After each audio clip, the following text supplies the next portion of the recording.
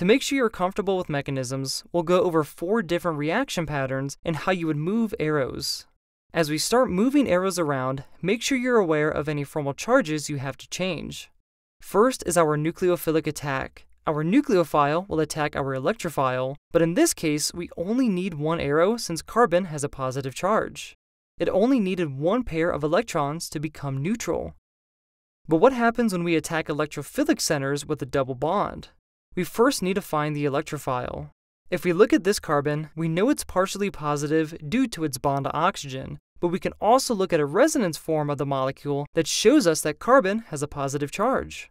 So in this case, our nucleophile will attack the electrophilic carbon, but remember, neutral carbon only wants four bonds.